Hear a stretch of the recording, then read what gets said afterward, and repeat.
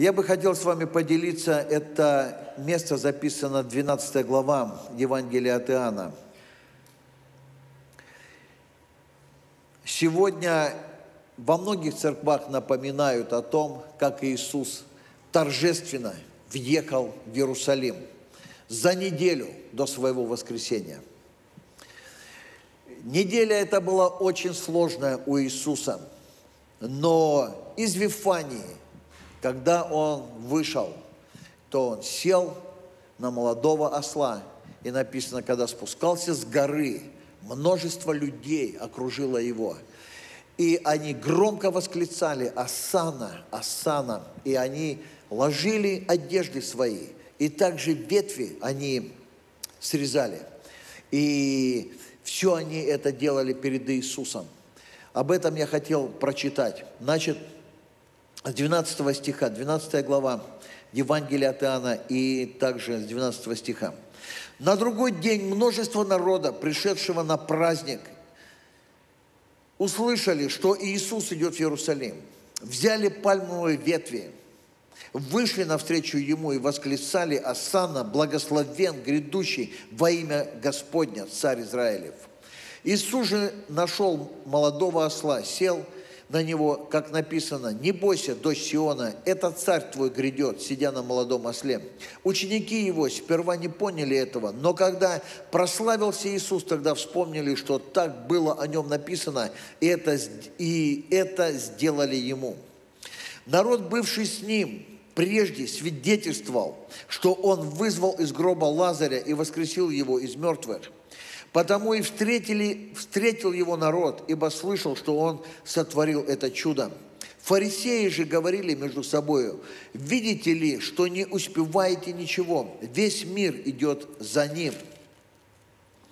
Из пришедших на поклонение в праздник были некоторые елены. Они подошли к Филиппу, который был из Вифсаиды Галилейской, и просили его, говоря, «Господин, нам хочется видеть Иисуса». Филипп идет и говорит о том Андрею, и потом Андрей и Филипп сказ, сказывают о том Иисусу. Иисус же сказал им в ответ, «Пришел час прославиться Сыну Человеческому. Истина, истинно говорю вам, если пшеничное зерно, падшее в землю, не умрет, то останется одно, а если умрет, то принесет много плода. Любящий душу свою погубит ее, а ненавидящий душу свою в мире этом сохранит ее в жизнь вечную. Кто мне служит, мне да последует, и где я, там и слуга мой будет, и кто мне служит, того почтит Отец мой».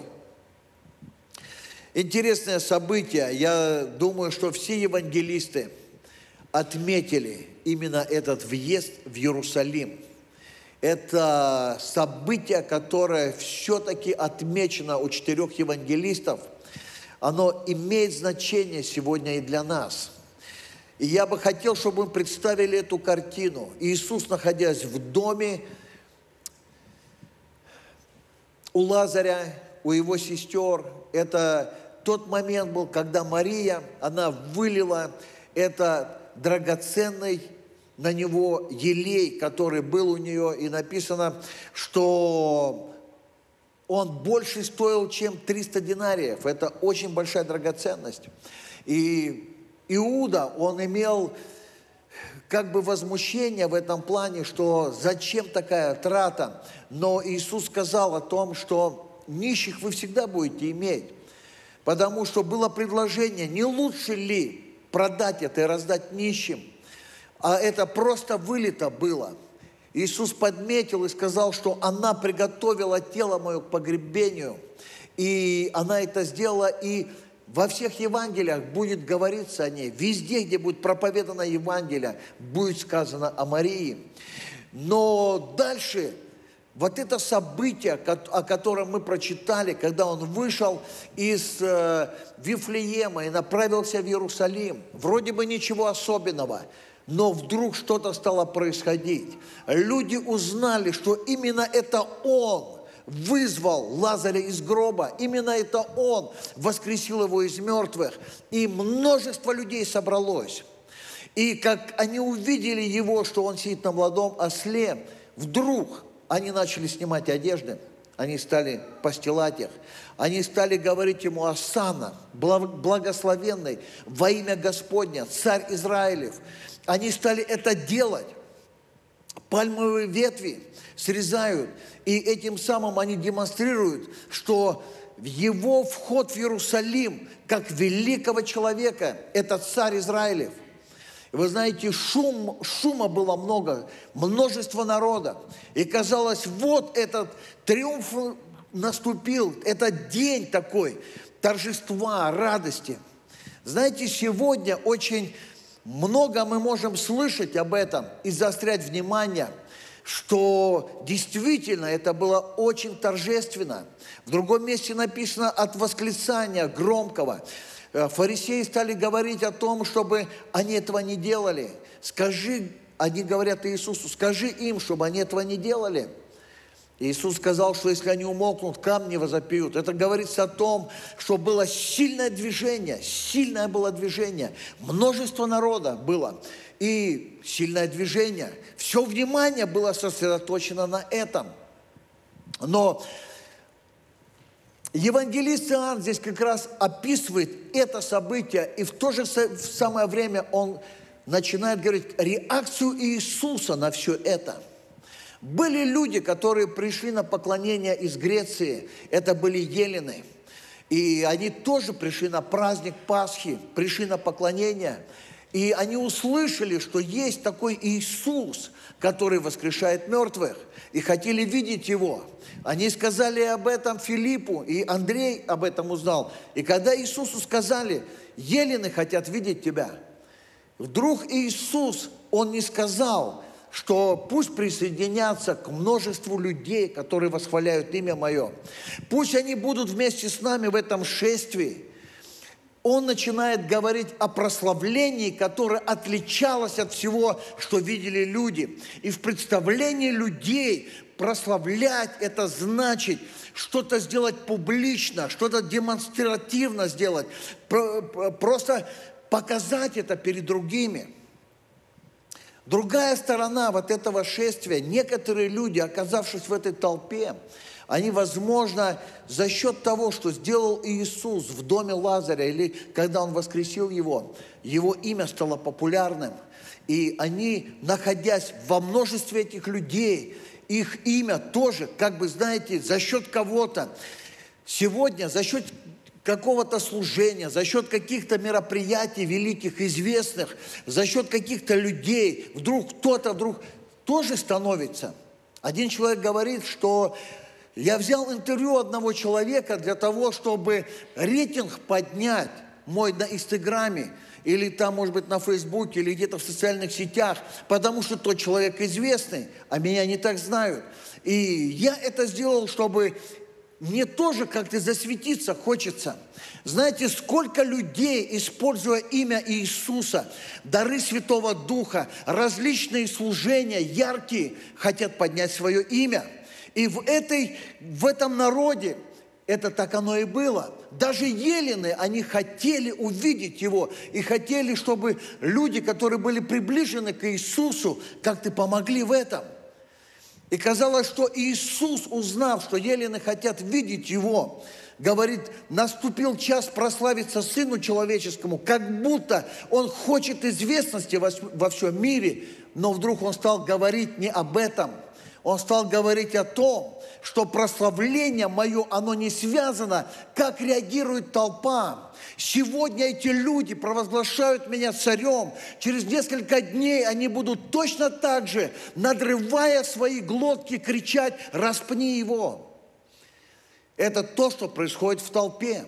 Когда люди хотят иметь ориентир по тому, как множество реагирует. Вы знаете, Иисус не исходил от этого – но он сказал, настал час прославиться Сыну Человеческому. Неужели из-за того, что елены хотели видеть? Нет. Слово Божье говорит, что Он пришел, чтобы взять грехи мира.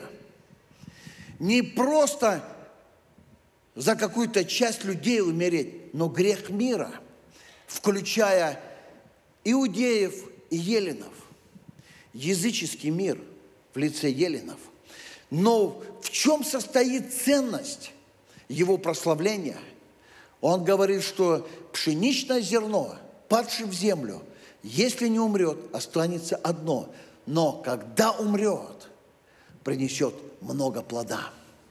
Этим самым он раскрыл принцип своего прихода, своего назначения и принцип жизни, которые поверят в Иисуса Христа.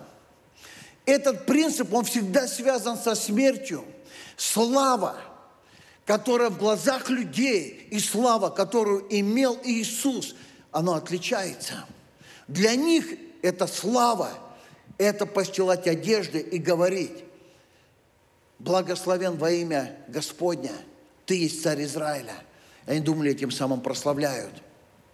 А Иисус говорит о славе, когда меня увидят – Дальше он говорит, когда я буду вознесен, то я привлеку всех к себе, весь мир.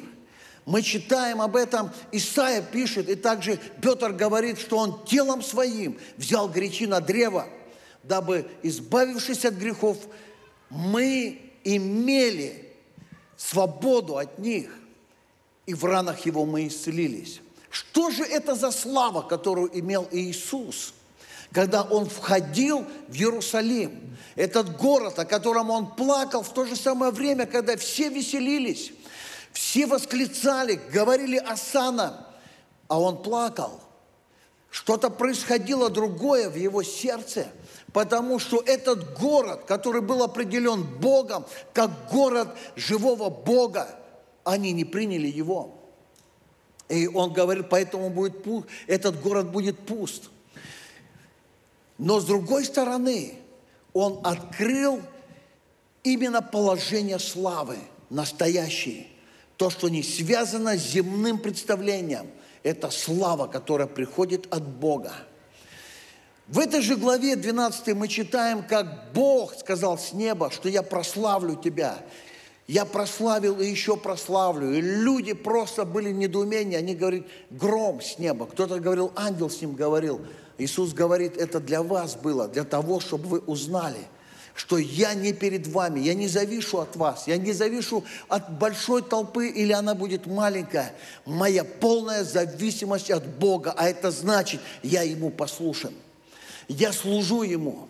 И дальше он говорит о том, что, э, о том, что говорит, кто будет следовать за мною, и тот, который последует, тот, который будет послушен мне, тот, который будет там, где я буду находиться.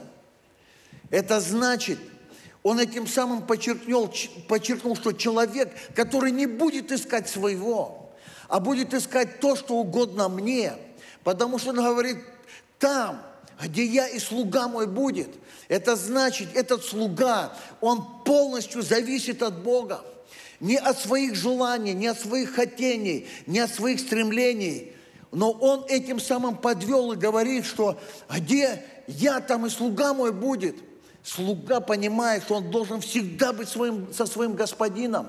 Не просто господин – Сегодня к Господу обращаются не к тому, чтобы быть зависим от Него, а чтобы Господь восполнял их все просьбы, нужды. Господь, мне надо вот это, мне нужно, у меня эта проблема, помоги мне, сделай это. Я слышал, как некоторые люди говорят, мы разочаровались в Боге, потому что просили Его, и Он нам не помог. И я не хочу такому Богу больше служить. Вы знаете, есть такие люди – но здесь он говорит о положении слуги, слуги, что слуга будет следовать за своим господином. Не господину говорить, у меня есть проблемы, но следовать за господином. Вы знаете, высшее назначение христианства – это исполнить волю пославшего. Это Небесного Отца. Это то, что Он определил. В этом прославляется Бог. Не наше имя возвеличивается, но Бог. И здесь говорится о плоде. Он говорит, много плода будет только в том случае, если зерно умрет. Но если не умрет, останется одно. Когда умрет, принесет много плода. Я слышал, как один человек, он рассказывал о том, что в магазине он купил виноград здесь, в Америке. И говорит, когда ехал в машине, Мне сильно захотелось этих ягод виноградных. И я, говорит, стал их когда употреблять, то обнаружил, что они такие сладкие, очень вкусные, сочные, хорошие на вкус и запах очень ароматный, но там не было косточек. И он говорит, я пришел домой, и были на вазе апельсины стояли. Я, говорит, взял апельсин и стал, разрезал его, выдавил с него сок и обнаружил, что в этих апельсинах нету косточек. Оказывается, сегодня выводят определенные сорта, которые прекрасные на вкус, все имеют, но не имеют семени. Вы знаете, семя – это гарантия продолжения рода. Если нету семени, в Писании написано, что не оставил семени, это значит, все закончилось. Если растение потеряло семя, оно не может дальше продолжить свое существование, на этом все заканчивается. Конечно, это все выводят определенными, но сегодня есть разные средства, как это делают, что а, сегодня плоды, они без семян. Но в природе так нету. В природе все оно умнож... Э, размножается благодаря семени. И если есть семя, будет размножение. Если нету семени, все остановилось. Бог так определил, Он, он создал этот закон размножения. Иисус говорил о, именно о том, что зерно пшеничное, когда умрет, у нее есть шанс тогда принести много плода. То есть продолжение идет только в увеличенной форме. Иисус говорил о себе, что Он пришел, и Его слава будет связана с тем, что Он умрет с одной целью, чтобы потом увидеть потомство долговечное. 53 глава Исаия, мы читаем об этом. Казалось, кто Он? Вы знаете, Он не пришел, чтобы сразу продемонстрировать свой приход с неба. Он был такой скромный, его приход, такой незаметный был. 53 глава Исаия начинается с того, кому открылась мышца Господня, и кто мог услышать о нем. Он говорит, как, как говорит, отпрыск из сухой земли, как росток, который поднялся, и не было в нем ни вида, ни величия, и ничто не было в нем, что могло привлечь нас к нему. Вот это вот. И вдруг это становится таким великим, не в глазах людей – но в глазах Божьих. И это то, что в конце 53 главе говорится, что он узрит потомство долговечное. На подвиг души своей будет смотреть с довольством. Он узрит это потомство. Вы знаете, когда Иисус говорил о семени, он, он не сказал только в, в отношении себя. Мы читаем, где он говорит о том, что кто хочет следовать за мною – то есть много желающих было просто быть под авторитетом Иисуса, быть прославленным за счет Его славы, быть известным за счет того, что Иисус стал известным. Сегодня много таких служений, которые используют определенные дары или определенные вещи, чтобы свое имя превознести. Вы знаете, зерно, которое не умирает, оно будет прославлять себя – но зерно, которое умирает, оно отказывается от этого. Поэтому Иисус говорит, если ты хочешь быть настоящим учеником моим, ты должен делать то, что я сделал. А это значит, как я умер для того, чтобы принести много плода. Отвергни себя, возьми свой крест и следуй за мною. В этом есть сила христианства. Когда мы не ищем своего, Иисус подметил очень такую э, интересную деталь, когда Он обратился к фарисеям, и Он сказал о том, что вы лицемеры, и сказал, указал им на то, что когда вы делаете добро, вы, говорит, всем это рассказывайте. Когда вы даете десятину или делаете добро, вы делаете это известными перед другими. Даже когда вы поститесь, вы объявляете о своем посте – и вы это делаете, становясь на углах улиц, вы публично молитесь и провозглашаете, что какие вы духовные люди. Но все это просто бумажка поверхностная, красивая, но внутри вы другие. И он говорит о том, что уже эти люди получают награду себе здесь, потому что они делают это перед людьми. К другой категории он обратился и сказал, войдите благословенные, Потому что когда я был болен, вы посетили меня. Когда был в темнице, вы посетили меня. Я был голоден, вы накормили меня. Был нах, вы одели меня. Они говорят, когда это, Господи? Когда мы это могли сделать? Когда мы могли это Тебе? Когда мы Тебя могли посетить в больнице? Накормили Тебя? Когда? Эти люди просто делали это было естественным образом жизни – они это не делали для того, чтобы быть известными или чтобы кто-то за них заговорил, какие они добродетели. Они просто делали, потому что это было их естественным образом жизни делать добро. И они делали это как для Господа. Все, что мы делаем словом и молитвою, мы должны делать во имя Господа Иисуса Христа. Не ради какой-то деноминации, не потому, что кто-то попросил, не потому, что это так сегодня модно – а потому что это естественно. И Иисус им сказал, что когда вы сделали это малым, вы сделали мне. Оказывается, так все просто. Кто-то ищет своей славы. Кто-то даже может использовать эти мероприятия, когда множество людей окружило Иисуса, и быть там. И за счет этого также себе славу приобретать. Но когда попросили Елены увидеть его, Иисус сказал, час наступил прославиться Сыну. В чем это? В том, что Он говорит, зерно, которое умрет, принесет много плода. И дальше он стал говорить о слуге. Он говорит о том, что слуга, который идет за своим господином, он его не оставляет. Он идет, потому что ему важно – исполнить волю своего господина. Невозможно, живя по плоти, жить для Бога. Невозможно, находясь, исполняя вожделение своей плоти, служить Богу. Поэтому зерно, которое внутри имеет эту жизнь, снаружи вроде бы ничего особенного, но внутри жизни – и это тайна, которую нам не понять, как эта жизнь там находится. Но эта жизнь открывается только благодаря, когда это зерно умирает. И что-то свежее, новое, сильное поднимается, и их много.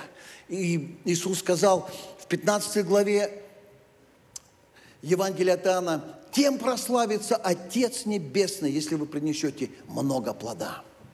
Въезд в Иерусалим Иисуса, да, он был окружен множествами людьми, которые восклицали и говорили «Асана, благословен грядущий во имя Господня».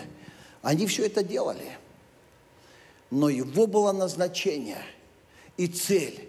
Это не то, чтобы встретила его толпа людей, которые будут его восхвалять.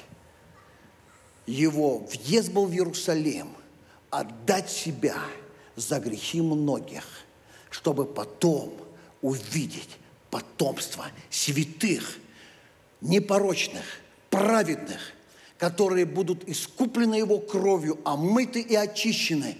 Это долговечное наследие, могущественное наследие, наследие христиан – которые из века в век не увядают, а становятся все сильнее, мощнее, имеют больше откровения, познания, исследования за Иисусом Христом. Я верю в это христианство. И когда сегодня говорят, а где настоящие христиане? Христиане – это там, это они находятся там, где их Господин. Мы не можем определять людей, Бог только знает. Но если человек там, где господин его, если этим господином является Иисус, потому что по-любому какой-то есть господин, какому-то господину мы служим. Кто-то скажет, да, я независим, я сам по себе, Такого не может быть. Потому что до покаяния, до рождения свыше, Слово Божье говорит, что мы жили по воле князя, господствующего в воздухе. Это так кажется людям, что они сами по себе, но они живут по воле князя. Он их господин. Но когда открывается Иисус нам, и мы принимаем Его, Он не заставляет нас следовать за Ним – он говорит нам, что если ты хочешь быть там, где я, отвергни себя, возьми крест. Позволь умереть всей твоей ветхой природе, которая не способна угодить мне, и позволь новой жизни, которую я вложил в тебя, открыться, чтобы там, где я, и слуга мой будет. Давайте мы поднимемся сейчас. Я хочу, чтобы мы действительно увидели – что его приход в Иерусалим, который отмечен всеми евангелистами, был такой торжественный, но в этом торжестве Иисус почему-то плакал. Он видел отступничество, он видел, что его не примут, он видел, что от него отвернутся, он видел, что над ним будут смеяться, но он пришел с одной целью, потому что на протяжении всех веков он знал, что будет народ, который все-таки поверит, который встанет на позицию, где скажет, Господь, я не хочу жить для своих вожделений. Я знаю, это особенное время, и в это время я хочу следовать за Тобою. Поэтому я отвергаю себя, свои планы, свои цели – с одной целью, чтобы исполнить волю Твою. Иисус сказал здесь,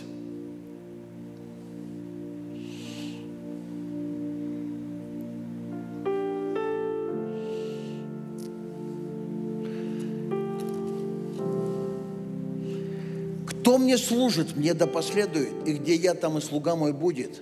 И кто мне служит, того почтит Отец мой. Почитание самого Бога тем людям, которые следуют за Иисусом. Знаете, жизнь – это движение. Все, что говорил Иисус о жизни, оно связано с движением. Он сказал, что слова, которые говорю я вам – это дух и жизни. Вы знаете, там, где дух – это движение, и там, где дух – это жизнь. В самом начале, когда Бог сотворил небо и землю, и написано, Дух Божий носился над водою, и тьма, которая все покрывала. И сказал Бог, да будет свет, но было движение Духа, и Слово имело силу, это не была буква, это то, что приносило жизнь. И так был сотворен весь мир. Движение. И Иезекииль он видел, из-под крыла храма вытекает поток и течет на восток. Сказано об этом потоке, что он нес жизнь. Вода была живой там, там было движение – это не была стоячая вода, это было движение. Оно двигалось. И куда впадал этот поток, вдруг рыба становилась здоровой. Все, что было мертвой, оно начинало ожива, ожив, оживать. Движение – это жизнь.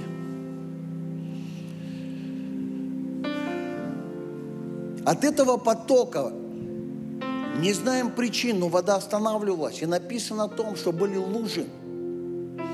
И вдруг там, где когда-то было движение и была жизнь, произошла остановка. Остановилась. И вдруг вода стала нездоровой. Стали бактерии.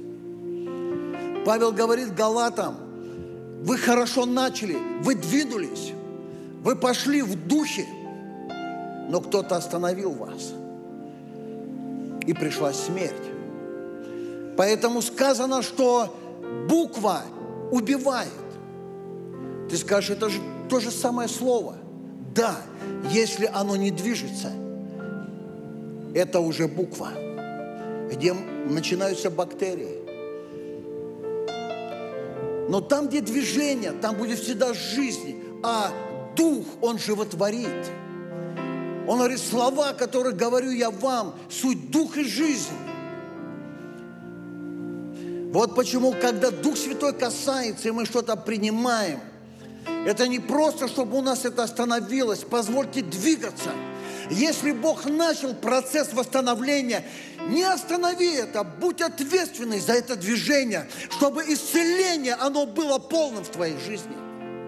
Восстановление было полным. Не просто что-то Господь начал, и Он остановился. Нет, движение началось. Позволь чтобы это движение продолжалось до полной победы. И не остановись. Потому что у Бога нету, чтобы мы дошли. И потом Он говорит, все, это предел.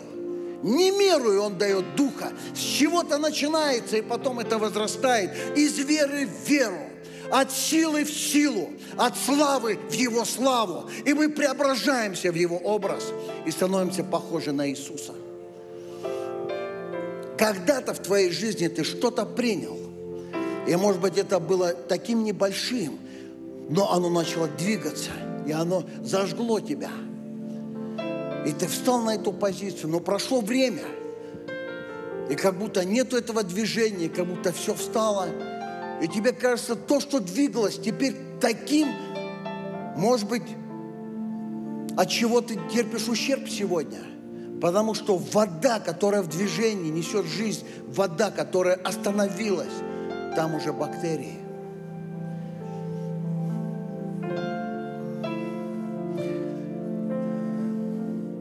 Всякий раз, когда мы умираем для себя, мы открываем возможность к жизни.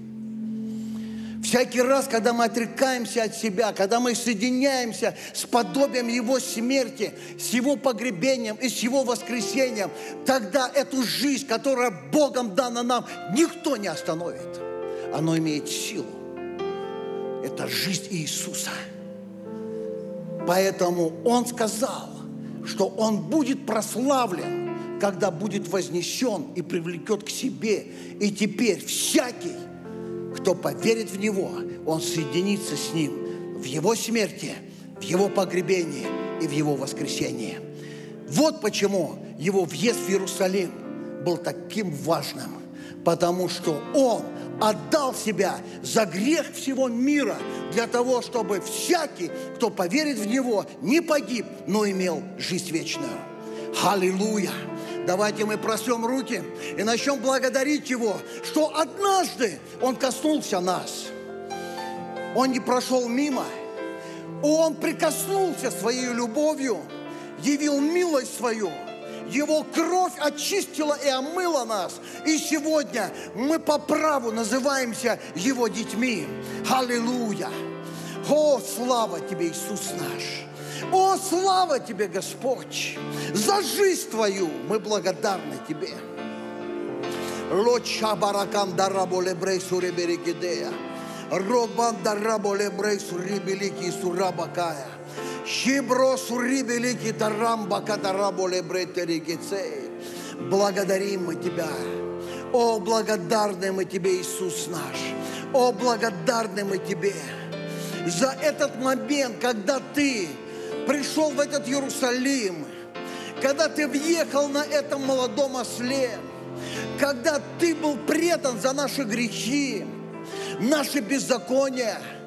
Мы думали, что ты был наказуем Богом, но ты изъязвлен был за грехи наши и мучим за беззакония наши, и поругание мира было на тебе, и ранами твоими мы исцелились, мы благодарны тебе за то, что ты это совершил, за то, что ты не сошел с этой дистанции. Твое имя прославлено, потому что ты умер за нас. Ты был погребен, и ты воскрес. И вся слава только тебе. Мы воздаем тебе славу. Сегодня ты привлек нас чтобы мы были Твоими последователями, чтобы мы были Твоими учениками.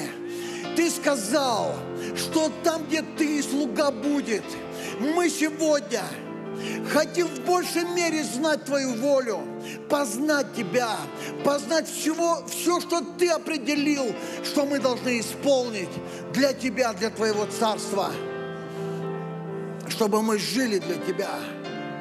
Наша была жизнь только для Тебя. Лебре сураба камбре турибелики сея. Хураболе бре турибелики турабала фрейтай. Арабам тарабуле береки турабуле береки сая. Дорогая церковь, мы будем сейчас возвеличивать нашего Иисуса. Но что я хотел бы сказать к некоторым людям, которые пришли сюда, возможно, вам это нужно сегодня услышать. Дух Святой побуждает мне это сказать сейчас. В первую очередь, я хочу, чтобы мы понимали то, что Бог определил в эти дни, в дни, в которые мы живем. Есть разные сезоны, но один из сезонов, который однажды начался, и он не заканчивается на основании Священного Писания, это юбилейный год. Он начался две тысячи лет назад – И он продолжается. Юбилейный год – это год объявлен, год спасения. Это юбилейный год, где измученные выходят на свободу. Темницы открываются, слепые начинают видеть, хромые начинают ходить. А люди с поврежденным сердцем – разбитые сердца, они исцеляются, сокрушенные сердца. Нищие слышат благовестие. Это лето, не осень и не зима, но лето Господня. Две тысячи лет это лето продолжается. А это значит сегодня Бог в той же силе. Его благодать в действии благодать, чтобы спасать, чтобы мы изменялись и преображались в образ Иисуса. Благодать Его не потеряла силу сегодня, потому что лето Господня. Юбилейный рог провозгласил на Голговской горе, когда Иисус висел на древе, и тяжесть греха всего мира лежала на нем. Он сказал, совершилось и открылась новая страница для человечества на этой земле. Новая эра. Эра, когда Бог становится таким близким к человеку посредством этой жертвы, Его Сына Иисуса Христа. Почему я это говорю? Потому что я сам жду определенных моментов Божьего излияния, Его силы. Я верю, что во времени оно, а, оно покроет землю, его слава придет.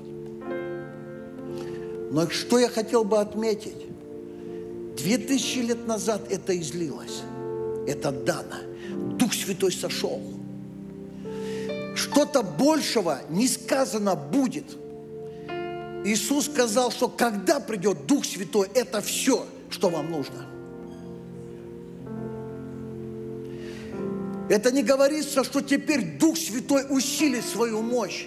Нет, Он в той же силе, потому что Он полнота. Что нужно? Это то, что мы приняли.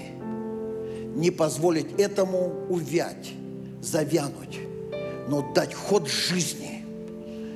Всякий раз, когда мы это делаем, мы начинаем видеть, как с малого становится больше и больше – было мало, становится великое. Было зерно горчичное, стало великим деревом Царства Божьего.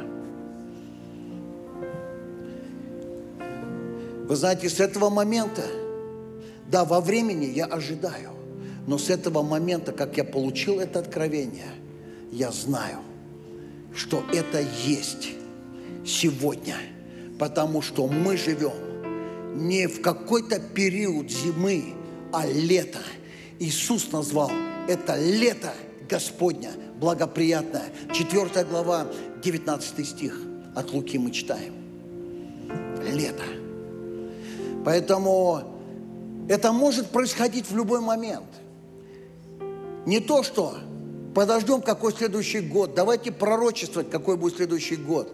Уже есть пророчество на все эти года. Лето пришло.